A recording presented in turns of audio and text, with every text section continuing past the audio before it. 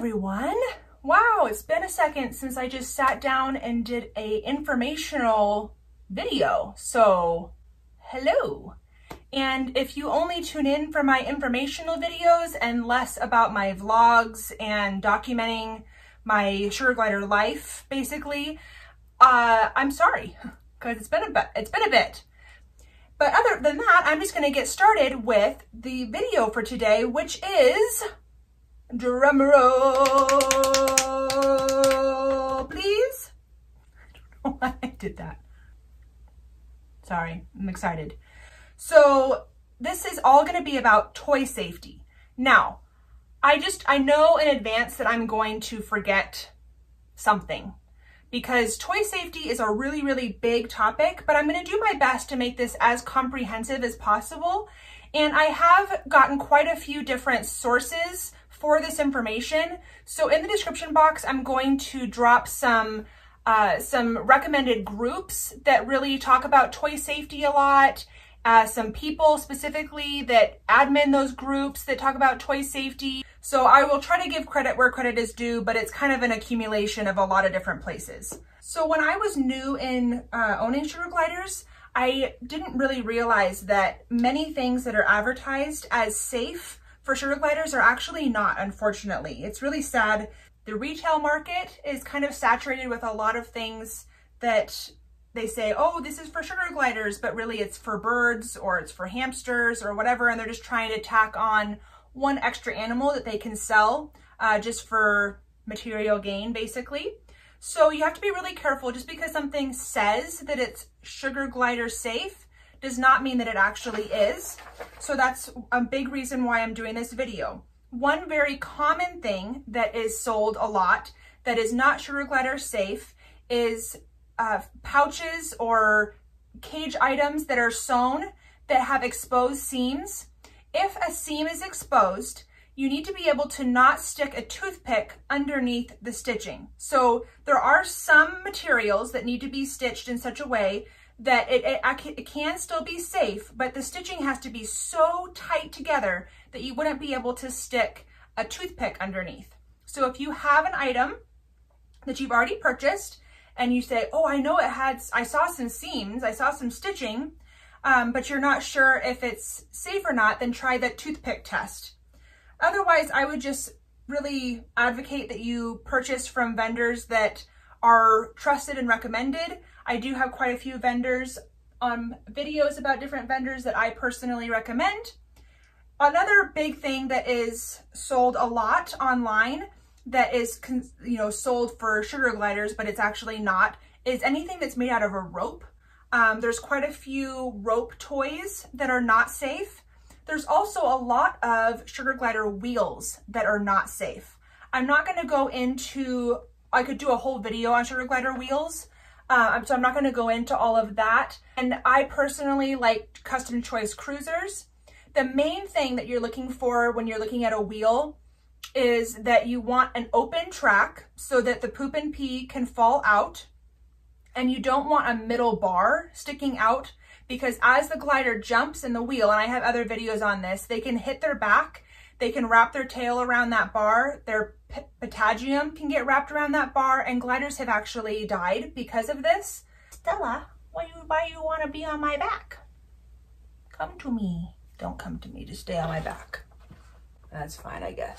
I'm, and then I'm going to talk more about toys and things that you might make yourself. I have a whole playlist of uh, toy making things. So I'll include that in the description box as well. The description box on this video is going to be nice and packed, but that's okay. Um, I want to make sure those resources are easily available to you guys. As a general rule of thumb, the hole size for any toy should be either smaller than a half an inch, so the glider can't actually get in there. You know, just like just like the bar spacing on a on a cage is supposed to be half an inch or smaller. If it's so, it's either needs to be smaller than a half an inch, but not so small that they could actually slip their little paw in there. You, there's kind of a little bit of a gray area there. You need to make sure you're um, using your own discretion with that. Or it needs to be larger than two and two and a quarter or two and a half inches. The, the, there's kind of a debate on whether it's two and a quarter or two and a half. uh, inches that the, the hole needs to be bigger than so that they can't possibly get stuck. If it's anything in the middle there, the glider could possibly get their head in or half their body in, but then not be able to get out. And gliders will actually self-mutilate. If they get to a point where they're stuck, they can panic and actually chew off a limb. Yeah, it can be bad. That's why you wanna make sure you're measuring things. So this is a toy that I purchased off of Amazon. And I'm not recommending this toy because I feel like, oh my goodness, Pika, hold on, you, you stop, you stop, you come see me, everything is fine, everything is fine, you come and see me, come here, you're all right, you're okay, nothing bad is happening to you, you're gonna poop on me, that's nice of you, you just want to be with your friends, huh? So don't leave me alone. And clean up that poop. Sugar gliders poop a lot, I tell ya. I purchased this toy off of Amazon because I was thinking it would be a cool one to have in the cage. I'm not going to put it in the cage, but I did keep it just to show you guys the potential problem with this. So, do you see how this, this part goes around? At first I thought, well, maybe I can just tighten it, but you can't because this right here tightens, but that doesn't have anything to do with this silver or this silver, this clear piece. And this opening, see how it kind of flares up like that? I feel like a hand could potentially get stuck in there, especially because this is a treat foraging type toy. It's supposed to secure onto the side of the cage and then it, you they rotate, you know, they work it around and there's different compartments for, for treats. But I this this flares up on the sides enough. If this was flush on here, then I wouldn't have a problem with it. The hole size is not ideal and it has this gap here. So that's a good example of something I would not feel comfortable putting in the cage. Like these baskets. Let's just use our measurements that we already learned and figure out if this basket is safe. So the largest hole in this basket is half an inch wide, okay? And the smallest hole is about a quarter of an inch wide. The, the smallest hole is not big enough for a paw to fit through. And the largest hole is not big enough for a head to fit through. So we are safe with this box. There's no toys in there, I know. Darn it.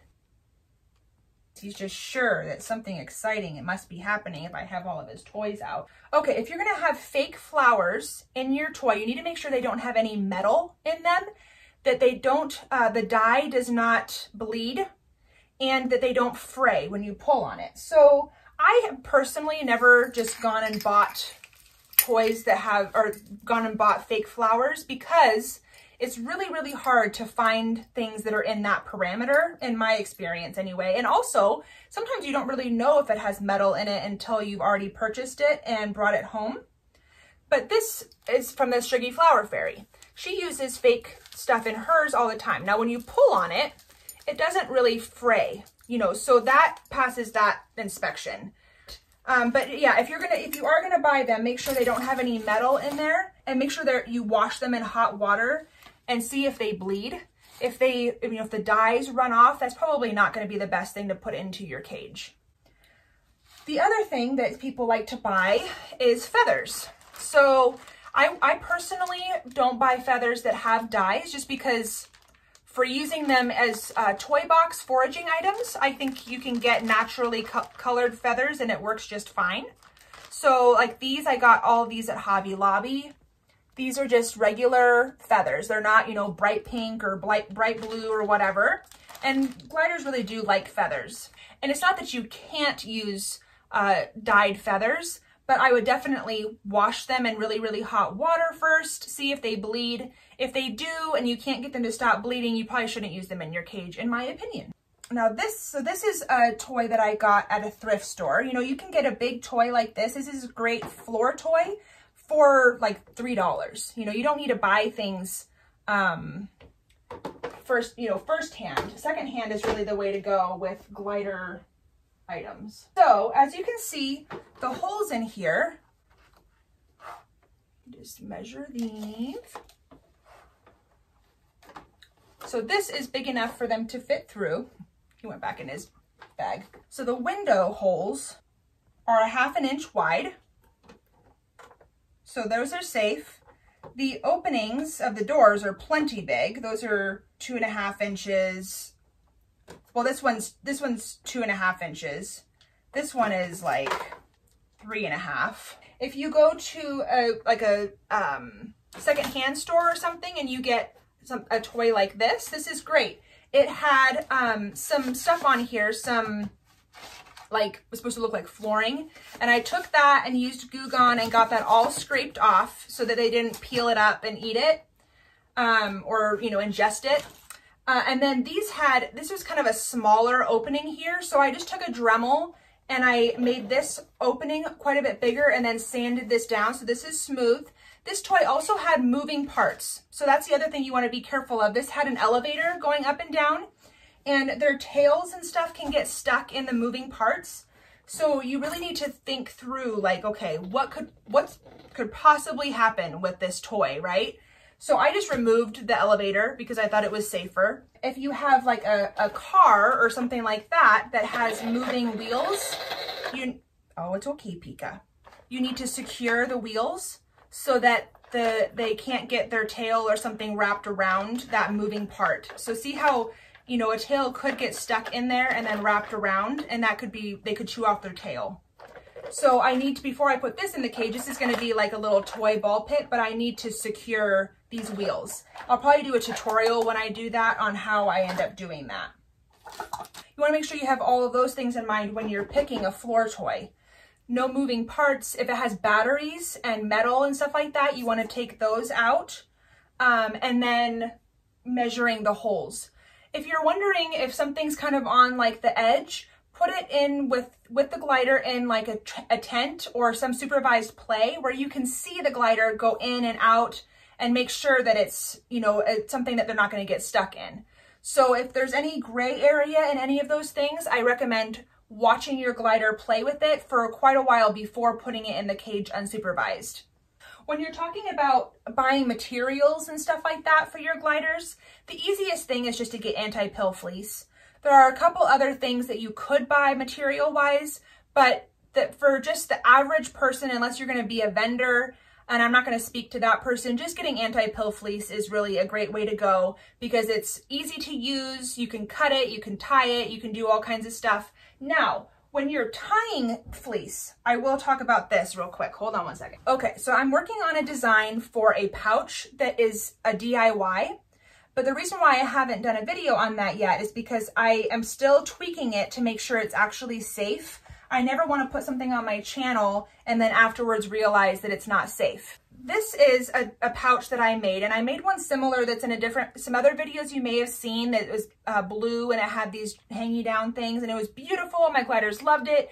But the problem is that when you have fleece and you tie it in knots, as it wears, the fleece pulls and then it creates little gaps in between the knots. So this I tied super, super good, very, very thorough, multiple knots. However, when I was inspecting it after I washed it, I realized that there's some spots in here that there's starting to become some separation between the knots. And I don't want a head to get stuck in there and then not to be able to pull it out and they die, right? That would be terrible. So for that reason, I am just gonna cut this apart and use it for scraps because really at the end of the day, if something's not safe, it really shouldn't be in the cage. There's plenty of safe things that you can use you don't have to take that risk. So the wear and tear on this was not long-term good. Another example of that is the no-sew bra pouch that I have made and I have a tutorial on how to make. I'm gonna grab one. Okay, so these no-sew bra pouches I have had and washed quite a few times. Now you notice that in here, these knots were nice and tight together, um, but because this was not made for in-cage use, I didn't really worry too much about that because I was, it was always going to be on my person. But you can see that after you have washed it a few times, there have become holes, since my finger, between the knots, which is fine when you're talking about a no-sew bra pouch, because actually it lets them smell your smell even more. Um, some people have taken a little strip of fleece and weaved it in and out of the holes just to make it solid. I still would not ever put this in the cage though, because they could pull that fleece out and then you still have the same problem, okay? Again, this is, the, this is my first one I think that I made. And the more that you wash it, the more you're gonna get these holes between the knots. So that's why I recommend just buying pouches from vendors that are approved safe vendors for these cute little sugar gliders. Yes. Yes. So one thing with toy making specifically is you want to make sure you're using the right materials and that those materials have been properly prepped. So, for example, you might be using things like these uh, C-links. You might be using things like these, which are mini links. And all of your charms, C-links, and mini links are gonna come with little barbs because they're made in a big long mold. And so they all have these connecting pieces. So you need to file those down or you need to cut them with flush cutters. So you can't just buy the materials from a vendor and then assemble your toy without prepping each item. So your C-links, mini links, charms, and your chain all need to be prepped. talked about that in other videos. I won't spend a lot of time on it, but I wanna show you, this is one toy that I made when I was first starting making toys. And since then, I haven't really put it in the cage because I really need to go back over it and um, and do all of those deburring things that I didn't do because I didn't know about that. I, I was all excited because I learned how to, you know, drill holes and I bought all these supplies, but I never heard anybody say that you had to prep the items before you actually uh, assembled it. So I need to go back through I made that, you know, probably four years ago. I need to go back through and um, deburr all of those things. So, so that's one main thing is the prepping of the materials. I thought you wanted to go away. You don't want to go away? So if you use zip ties to secure things, make sure that those are all um, cut flush and sanded down if there's any rough edges. If you can run your finger across it and you can feel that's kind of rough, you need to make sure that's sanded down. Also, these mini links here, these are non-weight bearing items. So you don't want to string a bunch of these mini links together and then hang something that you're intending for the glider to hang on or that they could hang on. They really are basically only used to hang charms. If you're using them for anything besides that, that's not safe. Yeah, so mini links are not weight bearing and they should not be used to attach anything except for charms, like I said. So they shouldn't be used to attach chain to a toy. So like if you have a toy, so say when I made this pulley toy, if I wanted to attach this bracelet onto the bottom of this chain, I could not use a mini link for that. You could use, so I cannot use one of these. I could use one of these with a link lock to secure it, or you can use a zip tie and then file the zip tie down or snip it with flush cutters. And if you're going to take some of these C-links, sometimes people will make chain out of these C-links, which is fine, but you have to make sure that you've secured and closed the link locks. So I'll show you what I'm talking about. So if you wanted to make a chain like this, with these C-links. You can buy these C-links on Amazon or something similar, not these specific colors, but you can buy something similar on Amazon. You need a link lock. Now there's quite a few different styles of link locks that you could get. One, the cheapest is to get some straws and cut them down to pieces like this that then slide in to this C-link and lock it. So now they can't come apart, right? You could also get link locks from a vendor. They look more like this. They're more of a solid plastic. Uh, they're more of a solid plastic and they look like that. Okay, so if you're gonna do, or you can also get uh, some rubber tubing. Some people have gotten rubber tubing from like um, an, the aquatic, aquatic rubber tubing and made their own little see-through link locks. That's totally fine too, um, but they need to be uh, locked. So if you're gonna have a big, long, thing of those C-links hanging down in your cage, maybe with a bracelet on the bottom or something like that. They need to be locked because as the glider climbs on it and plays with it, they can become unlinked and then that can become unsafe because uh, they could fall, obviously. That is, you are just in a playful mood, aren't you? Are you just so excited to be on mama? As you're making a toy, if you uh, are securing it with a zip tie and you realize that it created a little bit of a gap in the toy, you can always stick a, a mini link in there in that gap and then that will allow for it to not have a like a big enough space to um, have a, whole, a toe stick in there. So like this toy right here has a zip tie right there. If I felt like that gap was too big and I could stick a mini link in there, it, it's it's small enough that I can't really, but say that say that I could, you could you could stick this little mini link in the gap there of the zip tie so that a toe can't get stuck in there. If the gap is too small for even a mini link to stick in there, then you're probably fine. You just don't want any holes that their little paw could get stuck in and then they can't pull it out. Um, bad things happen when that happens. When you're buying chain, plastic chain for your toys, three millimeter is the smallest that you can get actually weight bearing. So if something's gonna be hanging on, on it, you're hanging something heavy on it, three millimeter is the, the, the um, smallest. So this is the smallest chain that you would use. There is two millimeter that's great for like pulleys, but not to hang a toy with. You can also go all the way up to eight millimeter, but anything above that, uh, the glider can actually get in the opening or and get stuck. So this is two millimeter chain.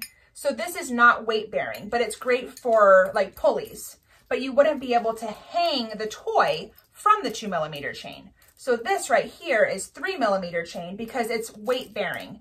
This is two millimeter chain because it's for a pulley. That's that with the chain. So that's my toy safety video. I hope that was helpful. If you buy something from a vendor, you should still inspect it and make sure that it actually is safe. And now, you, now that you know what makes a toy safe and not safe, you'll be able to inspect it. So I hope you guys enjoyed that video. If you have questions or you have extra things that I forgot to include for toy safety, please drop them in the description, or not in the description box. You don't have access to the description box, only I do. In the comments, please put them in the comments so that people can see those. Let me see if I can get Pika out one more time so you can see her progress. She's doing so stinking good. For those of you who have not been following my journey with Pika. You probably have no idea what I'm talking about, but she's my new rehome. She was very, very crabby and pouch protective, and she lunged at me multiple times and was very, very hard to handle. But now we are just doing great. Aren't you, Pika girl? Aren't you? I don't know that she loves me yet, but she's definitely learning to trust me. Yeah, there's a Pika girl. Huh. What is. She loves being a part of her colony. She, and that, that's, a, that's why she's like obsessed right now to get back in with her, with her friends. Huh. That's right. Good girl. Okay, let's say goodbye. I got the Pika on my head. All right, guys, have a wonderful day. And I'll be seeing you soon with another video. All right. Bye, guys.